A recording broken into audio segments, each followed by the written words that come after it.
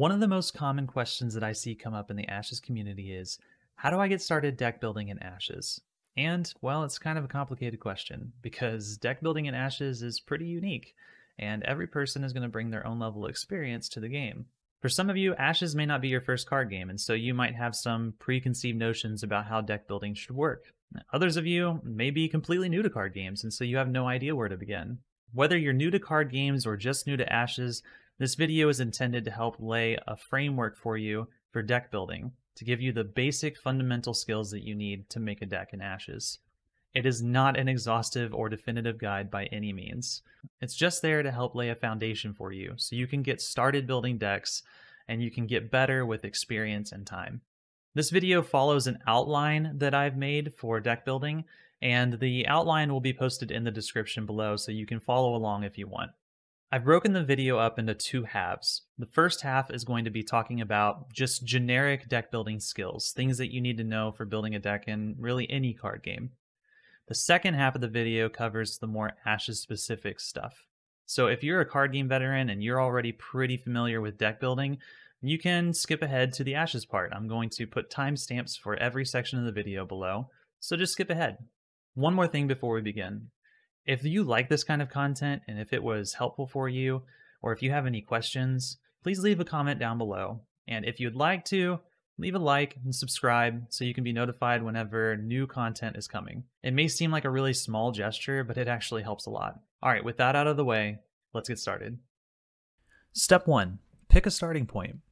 The first step might seem kind of obvious, but You'd be surprised at how easy it can be to get lost in the process and begin building a deck without any real direction or goal. Picking a starting point ensures that you don't meander around aimlessly. There are two main methods to picking a starting point for your deck building by archetype and building by theme. Starting with an archetype has the benefit of giving you a lot of direction. Every archetype, whether it's burn or mill or bypass or control, we'll discuss these more in detail later, they usually come with a predefined win condition for you to build towards. Archetypes often have certain cards or sets of cards associated with them, so picking an archetype as your starting point can sometimes give you a head start on which cards are important inclusions in your deck.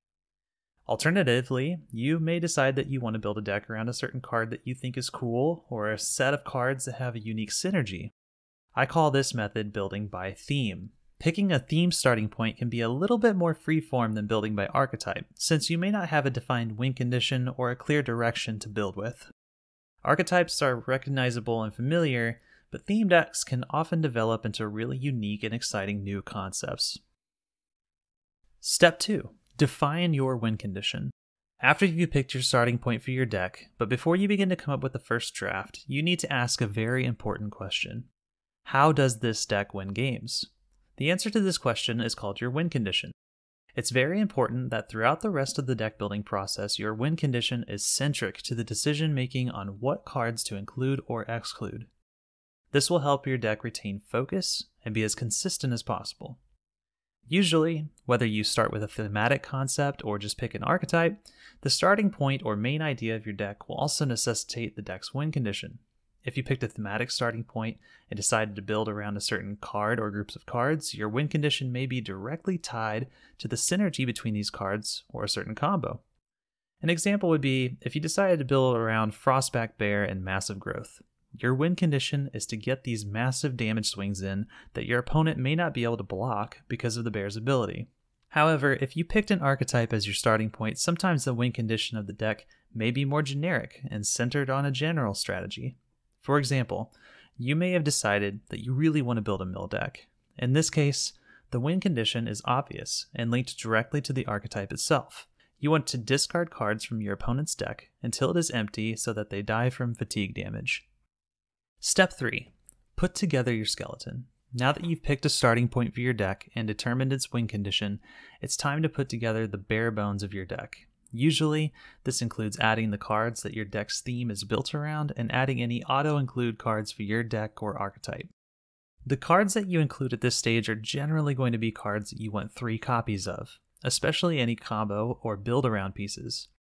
There are some exceptions, especially when it comes to ready spells, but we'll go over that later in the video. Auto include cards are cards that see play in nearly 100% of decks that are able to run them.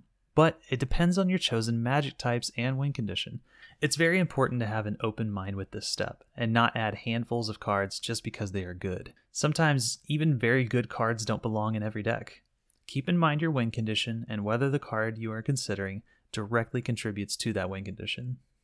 Okay, here's an important side note about the first five. At some point during or between steps one through three, you're going to want to figure out what you want to include in your first five or your opening hand. Your first five is going to be central to everything your deck is trying to do, so it will likely be part of your skeleton and be a critical part of your win condition. Many players even choose the first five as the deck's starting point, before they even make any other decisions about which Phoenixborn to use or what core cards to include three copies of. We'll talk more about first five in depth later in the video. For now, just know that most players tend to build their decks around their first five, so it may be something you want to have in mind early on in the deck building process. Step 4 Fleshing out your deck. Once you've added the necessary cards your deck is themed around and any auto include cards, it's time to move on to the meat of deck building. It's at this point that you can really begin to get creative and make the deck your own.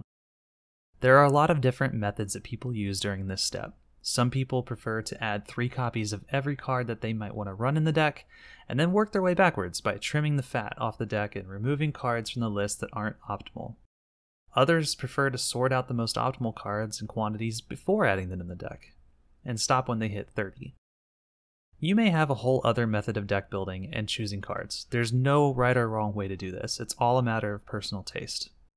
There are a couple of important considerations to keep in mind at this step. First is to make sure that you are including the right amount of removal for your deck. Removal is a name for cards or abilities that neutralize your opponent's units either by destroying them, sometimes referred to as hard removal, or rendering them unusable, sometimes referred to as soft removal. Removal is usually quite important as it represents an answer to your opponent's threats that they can't see on the board and may not anticipate. There are two main flavors of removal single target and AoE, or area of effect. Single target removal focuses on destroying or neutralizing a single unit on the battlefield, usually a large threat. Examples of this are Fester and Steady Gaze. AoE removal deals with multiple threats on the battlefield in a single effect. Examples include Meteor or Kneel.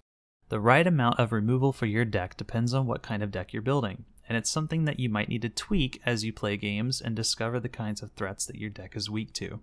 Another important consideration is how many units you can summon. Units in Ashes are divided into two groups Conjurations and Allies. Conjurations take longer to summon as they usually are summoned by using ready spells called summon books. But the advantage is that they're able to be summoned every round as long as the book is unexhausted. Allies, on the other hand, are played from hand. They take less time to play since they don't need to have books played first, but when they are destroyed, they can't be used again unless you have a way to recur them from your discard pile. Most decks in Ashes will have a healthy balance between conjurations and allies. Very few decks will focus solely on one type of unit over the other. And just like removal, it may take a bit of tweaking and testing to figure out what that balance is for your deck. Alright, step 5 Meta considerations and tech cards. Now that you've built your deck's skeleton and fleshed it out a bit, you might find yourself coming down to the last few card slots and wondering what to fill the gaps with. It's at this point that you might want to consider adding some tech cards. Depending on the state of the meta and what you are likely to run up against in a given match, you may want to include some cards that aren't necessarily optimal for your deck but can shore up some weaknesses in specific matchups. Tech cards in Ashes is an interesting point of discussion because the first five mechanic allows you to always be able to put tech cards into your opening hand at the start of the game. The implications of this are an advanced topic all on their own. For now, the important takeaway is to consider what types of strategies are most popular, or consider areas in which your deck may have some weaknesses, and consider dedicating a few slots to dealing with those matchups. Step 6 Ask questions. Now, you should have a full deck list, or at least be closing in on a full deck list. It's at this point that we've come to one of the most important steps in the deck building process asking questions. Look at your draft. Ask yourself what are this deck's strengths? What are its weaknesses? What kind of matchups will this deck excel in? And what kind of matchups are going to be really difficult? What cards in this list are most likely to be dead draws? What does my best first five look like? And what alternative first five options do I have? Do I have enough removal? Do I have a good balance of units, both conjurations and allies? Do all of these cards support my win condition? Asking these questions of your deck before you take it out into testing can help deal with some potential problems before they arise. Keep in mind that the answers to many of these questions may change with testing. You might think that you have the appropriate amount of removal and then play five games and lose three of them and determine you don't actually have quite enough. The point isn't to come out of this step with a perfect deck list. The point is to get yourself to think critically about each choice. Okay, so now we've come to the most fun part of the deck building process testing. This is probably the most important step in the whole process. You'll need to play some games with this deck to properly test it. And while you're playing these games, you need to be thinking critically about your card choices. Given the first five mechanic, small deck sizes, and the length of games in ashes, I think a general good rule of thumb is to play two or three games with each new draft of your deck list. The idea here is not to make drastic changes after each game. Ask yourself questions after every match. Did this specific card perform up to expectations? Was I able to sufficiently control or pressure my opponent? Does my deck have enough ways to get damage through or deal with my opponent's threats? Was I able to consistently be able to pay for the cards I needed to with the dice spread that I have? Are there any cards in my list that never get played that might be too situational? Would the game have played out differently if I swapped this card for that card, and will that affect other matchups negatively or positively? It's very important to keep in mind that your first draft is probably never going to be perfect. Deck building is an iterative process. Very rarely will you throw together a new list and it will be wildly successful, go on a 10 0 win streak with no changes or variations. And even if it does, you need to ask yourself why is it winning and whether or not there's room for improvement. After you've successfully tested your first draft, you can go back to deck building and improve. Then you can test the second draft and rinse and repeat. By the time you've reached your third or fourth draft, you will have tested this idea through about 10 to 12 games and have a pretty good feel on how the deck can perform in a competitive environment. But not every deck will perform well or work the way you envisioned, which leads us to the final step. Step 8 Kill your darlings. This is the hardest part of the deck building process. You need to be able to know when to hang up an idea for a later time and when to go back to the drawing board. It can be very discouraging to work so hard on a list, to theorycraft and build and test exhaustively and play many, many matches only to come to the conclusion that your deck might not be up to standard. Here's the thing though, and it might be the most important thing you can learn from this video. Failure is an opportunity to learn. So you spent 10 hours drafting, testing, refining, and playing a deck concept that you adore only to find out it kind of sucks right now. Those weren't 10 hours of play wasted. You spent those 10 hours learning valuable lessons about deck building, lessons about what the meta's like, lessons about how to be a better player and be a better deck builder. Don't be afraid to pack up an idea and move on to something new. You can always return to new ideas later after new cards come out and the meta shifts. Don't be discouraged by a failed concept. Learn from that failure and take what you've learned with you into future endeavors. Alright, here's a side note about net decking. This is something that's helped me tremendously in my deck building skills and something that was hard to swallow. There's no shame in net decking. For me personally, this was a very difficult lesson to learn. I'm very much the kind of card gamer that loves to make new decks from scratch, explore unexplored territory, play off meta lists. I'm also very much the kind of player that wants to win with these off meta lists and strange concepts. When I finally decided to swallow my pride a bit and start playing with other people's tried and true deck lists, lists that have been polished and optimized by some of the best players in the game, I started to become much more familiar with what makes good decks tick. Net decking optimized lists not only helps me understand the meta, become a better player, but it helped me become a better deck builder too. Don't neglect net decking as part of the deck building process, and realize that even if you take a top tier list off the internet and tweak it to make it your own, it's something unique and special. Maybe your list looks 95% similar to a list from Matt Bowers or Red King. That's fine, because the other 5% is something that could easily set your list apart and make it something special and unique. At the very least, it'll be something that feels special to you. And that's the most important thing that you have fun playing decks that you assembled. Okay, so now that we've gone through the entire outline and you're familiar with the deck building process, it's time to talk about some Ashes specific things to consider when building decks. Let's start with your choice of Phoenixborn. If you're coming from other card games, you might find it intuitive to start building your deck with the Phoenixborn.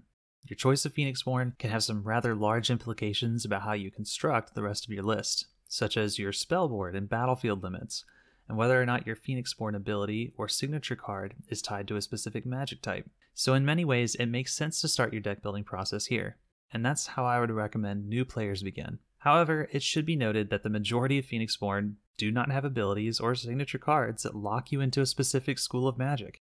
In fact, only 10 of the 22 available Phoenixborn at the time of this video actually demand a specific magic type, and some of those only lock you in if you choose to include their signature card. So, depending on the type of deck you're building and your color choices, you may sometimes have an option of multiple different Phoenixborn to use. This means that you can build most of a deck before even making a choice on which Phoenixborn you want. Also, like I mentioned earlier, including a Phoenixborn signature spell is optional. Maeoni's Silver Snake Conjuration is fantastic, but you don't have to build a Maeoni deck with silver snakes. If you choose not to use them, you're no longer locked into Nature and Charm, which opens up a very large amount of the card pool that may have been difficult to include before. One of the most important things to take note of when choosing a Phoenixborn are their spellboard and battlefield limits. Generally speaking, a Phoenixborn with a small battlefield will tend to focus on bigger or more resilient units at the expense of summoning less units overall. This is what many people refer to as going tall. Phoenixborn with much larger battlefields can afford to play cards that summon multiple units with a single ability or card. These units usually aren't as big or resilient, but they can be threatening in large numbers. This is often called a swarm strategy, or going wide. This is just a rule of thumb though. Rimea's signature ally is a card that creates 3 units on play, and she only has a battlefield of 4, which is the lowest stat you can have. The important takeaway here is to consider your battlefield when you think about what type of deck you're building, or what cards you want to include. It might be difficult to play Summon Sleeping Widows and Raptor Herder in a deck like Maeoni or Estrella, and you might be leaving too much on the table by playing a Voltron style Going Tall deck in Koji. Another rule of thumb is that a Phoenixborn with a smaller spellboard is generally speaking going to want more allies than a Phoenixborn with a large spellboard. Less ready spell slots means less slots to dedicate to summon books, which means you may need to compensate by including more allies to make sure you can always have a solid battlefield presence. However, again, this is not a hard and fast rule. You could certainly get by with less allies if you dedicate all three of your spellboard slots in Odette or Jericho to summon books. It might just mean that you have to sacrifice access to utility ready spells in order to do so. Having a large spellboard, on the other hand, gives you a lot of flexibility with ready spells, and you may not mind having an augury taking up your spell slot and tutoring cards for you each turn if you have four more slots available at any given time. For beginner deck builders in Ashes, I recommend picking your Phoenixborn either during step 1 or after step 2 in the deck building outline. If you decide to build around a theme, and that theme includes a Phoenixborn, then start there. If you decide to build around an archetype, then I would determine your win condition and then pick a good Phoenixborn that suits that archetype and win con. Also, for beginner deck builders, I highly recommend always including your Phoenixborn signature card in your deck lists. The number of copies can depend on what Phoenixborn you pick, but always try to work their signature card into your deck strategy. This will help familiarize yourself with the Phoenixborn's entire toolset and help you make more informed decisions in future builds. Also, you can always remove a signature card later if it's not performing the way you want. Alright, first five. The first five mechanic is a game defining feature of Ashes, and it's also critically important for deck building. So much so, in fact, that most of the high level players in the Ashes community recommend starting building deck with the first five. In many ways, your opening hand and your first round will determine the course of the rest of the match, and so your first five will be centric to your win condition. This is the foundation upon which you'll build the rest of your deck. Now, that's not to say that you must begin building your deck with your first five. Some people, like me, prefer to build most of a deck and then decide on first five options later. However, your first five does need to be a consideration throughout the deck building process. Most decks are looking to develop their spell board in the first round of the game, so many, if not all, of your ready spells will end up in your first five. Depending on the Phoenixborn you've chosen to play, this could mean as many as 3 to 5 ready spells in the first round. The other 1 to 2 slots are usually reserved for flex cards that can be swapped out for other cards in your deck depending on the matchup. It's very common to hear a reference to a first 4, and then have that fifth card be open to whatever the matchup requires.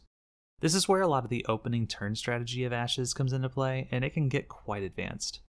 We're not going to dive fully into teching your first five for specific matchups, because I think that's kind of beyond the scope of this video. Just know that you usually want to leave at least one slot in your first five open for a potential matchup specific card.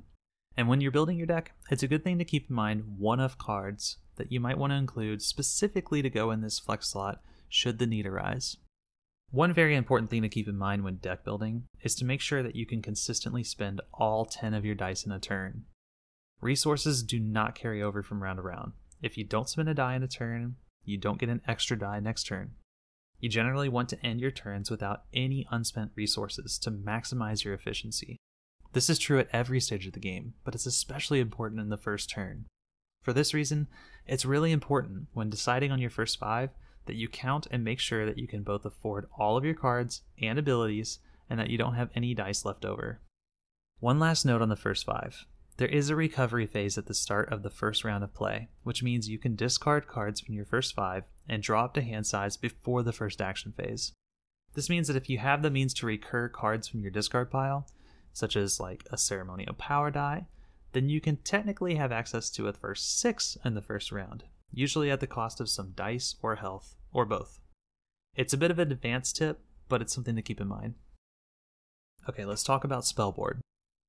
A Phoenixborn spellboard is hugely important to the long term strategy of any deck. Throughout each round of the Game of Ashes, your spellboard represents a number of repeatable abilities that you can fall back on no matter what your hands look like from round 2 onward. For this reason, it's very important to think carefully about what you want your spellboard to look like every game when building your deck. Generally speaking, every deck in Ashes is going to want some number of summon books. These are ready spells that allow you to summon conjuration units to the battlefield. These units tend to form the backbone of your deck's battlefield strategy, since they will always be available for you to use no matter what you end up drawing later in the game. Ashes is a very battlefield centric game, so you need to be able to summon units every turn.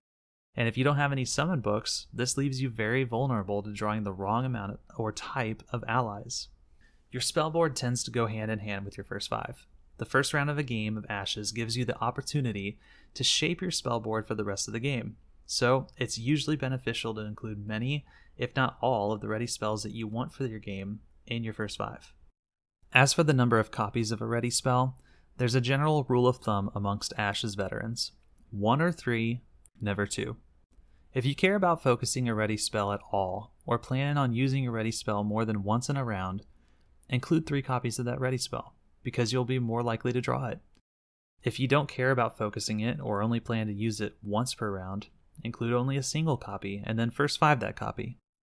Including only two copies of a ready spell is just begging for that second copy to be meditated off the top of the deck. There are exceptions, of course, like whether or not you're running Essence Druid or a Resonance, but this is generally a good rule of thumb for deck building one or three, never two. And lastly, some decks may choose to include more ready spells than they have spellboard slots. This is generally referred to as overloading your spellboard. Either some ready spells will be swapped in or out as meta or tech choices in their first five, or you may choose to overwrite ready spells later in the game by meditating away all the spells in a slot on your spellboard to make room for the new ready spell. When you're nearing the card limit on your deck, it's important to look at all of your cards and think about whether or not you may want to include any dice fixing cards. If you notice that you have many cards that have power dice costs, it may be a good idea to include a couple of copies of a dice fixer. Now, which dice fixer to pick will depend largely on your deck, magic types, and your Phoenixborn. Some dice fixers are ready spells and thus require a spellboard slot. Others are action spells. Some even have specific requirements like destroying a unit you control, which could have some nice synergy if you're running a lot of cards that have on death effects. However, you may decide to not run dice fixing at all and live on the edge. Just meditate for all your dice fixing needs. Just keep in mind that the cost of heavy meditation could change depending on your deck construction and on the matchup. If you have a lot of single copies of cards in your deck, then meditating might mean losing access to some of those cards. If you're playing against a mill deck, the meditation is going to accelerate their win condition. There's no one size fits all answer to dice fixers, so I recommend testing out a deck a few times and then making decisions based on what you notice in those games. Choosing a dice spread is usually the last step in building an Ashes deck. After you've chosen all your cards, you need to look through the cost of those cards and make a decision on how many of each color of dice to use. This can be tricky, and there may be times when a draft of a deck list is struggling in the first couple of test games because of a poor dice spread. As always, the most simple answer here is to just test your decks and make changes based on what you see. Most of your dice spread needs will be dictated by your spell board. These are abilities that you generally plan on using throughout the entire game, so making sure that you have enough of a dice of a specific type to use that ability each turn will influence your spread. One technique that I often see is to lay out all the cards in your deck and count up the total number of each type of symbol you see. The highest total should get the biggest share of your dice spread, and the next highest total a little bit less than that, and etc., etc. For example, my Jessa deck has 16 ceremony symbols, 13 nature symbols, and 7 divine symbols amongst cards in my deck. A good dice spread for this deck might be 5 ceremony, 3 nature, and 2 divine. However, while that's a good place to start, you also need to take into account how often you might expect to need many of the same type of dice in a single round. For instance, if I want to summon both a Frostback Bear and a Sarasaurus mount, then with this dice spread, I won't have enough nature dice to play a Molten Gold. For that reason, I changed the dice spread to 4 Ceremony, 4 Nature, and 2 Divine. Now, there's no real limit to the number of magic types that you can run in a deck and Ashes Reborn is more flexible than most games in this regard, due to always having 10 resources to spend each round no matter what. It's not uncommon to see four or even five color decks, and I've heard of success being found in even more colors than that. However, the more colors that you include in your deck, the more you might need to lean into basic dice costs to be able to smooth out your turns. If you're running a five color list, even if you have two nature dice in your spread, it may be difficult to include something like Molten Gold or Frostfang. What if you need to use one of those nature dice for its power side to kill a unit? Now you're unable to play these cards that have higher nature requirements. It's also important to note that some decks may want to run a single die in a color just for its dice power, and not really include any cards in their deck that use that magic type. Maybe you run a single divine die in your Xander deck just for his Phoenixborn ability, this isn't uncommon at all, and in fact, it can be quite versatile. Okay, here's some notes on card draw and tutoring. As you continue to play Ashes, you may notice that some effects that are usually very strong in other games aren't quite as strong here. Two that stand out right away are card draw and tutoring effects. Because you draw up to your full hand size at the beginning of each round, and because the number of resources you have access to in each round of the game is fixed, drawing cards tends to be a bit of an underwhelming effect in Ashes. Most card draw effects carry a bit of a steep cost, both in dice and deck building slots. Cards like Sleight of Hand may seem strong if you're coming from a different game, but in Ashes, spending two dice in a card slot to net two cards is a heavy cost. You may not even be able to afford to play what you drawn. For that reason, many times the most popular cards that have draw abilities tend to be cards that give you value in some other way. Cards like Ironworker, which has a respectable 2 2 body and increases your effective hand size. Tutoring is another ability that is incredibly strong in most card games, but in Ashes, it can be only so so.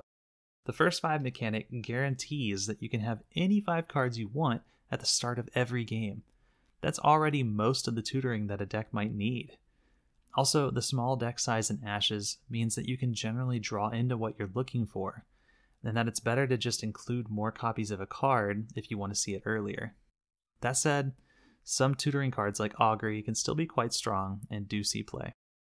Alright, for the final part of this video, I'm going to briefly go over the five basic deck archetypes that are common in Ashes Reborn.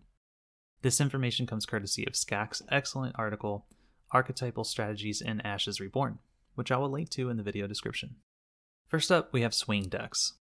Swing decks tend to focus on dealing damage to the opponent's Phoenixborn primarily through unit attacks.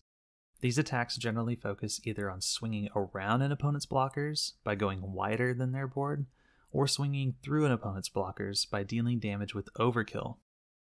Swing decks also try to take advantage of holes in their opponent's defense by using removal to create openings for their units to attack a Phoenixborn directly. This archetype is one of the most common that you'll see, and it can kind of be described as playing good stuff ashes. One example of a swing deck would be 4 Book Aradel. Bypass decks are similar to swing decks in that they are dealing the majority of their damage through unit attacks. However, instead of building a wide board to swing around or using overkill and removal to swing through, bypass decks use abilities like Terrifying, Gigantic, and Bypass in combination with a single large threat to deal a ton of damage all at once that the opponent cannot effectively block. A Maeoni Silver Snake deck is the prime example of this archetype, although this strategy is common elsewhere. Burn is an archetype that is focused heavily on dealing as much direct damage to the Phoenix Phoenixborn as possible through various spells and unit and Phoenix Phoenixborn abilities. They only care about the board in so much as that they need to effectively hold off the opponent from dealing damage faster than they can deal damage. The primary goal is to stall their opponent long enough to win by direct damage. Brennan Burn with Fire Archers, Frostbite, and Molten Gold is a good example of this archetype. Mill is an archetype with a lot of support in Ashes, and it makes sense why. Deck sizes in this game are small, and players naturally will mill themselves to an extent with meditation. A mill deck's goal is to stall and utilize a strong removal suite alongside many discard effects in order to drive their opponent to begin taking fatigue damage as fast as possible. This strategy can be quite strong in the right hands. Control is probably the least defined archetype in Ashes as it doesn't really have a direct win condition on its own. They utilize a wide range of powerful removal and stall effects, as well as resilient units to try and build incremental advantages over the course of a game and win via attrition. Since Ashes games tend to not go very many rounds, on average 2 to 3, playing for the long game with incremental advantages tends to lose out to decks with higher tempo strategies. As such, Control is an archetype that leans heavily into swing, burn, mill, or some combination of the three for its win condition. All right, that pretty much covers everything. Uh, again, this video is not a definitive or exhaustive guide. It doesn't cover a bunch of advanced topics.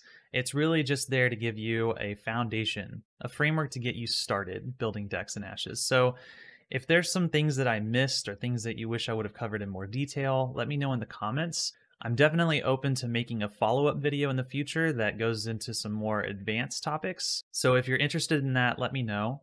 And again, if this content was helpful for you and you liked it, consider leaving a like and subscribing. You can hit the bell for notifications if you want to be notified when new content is coming out. As always, thank you so much for watching and supporting this channel. We'll see you next time.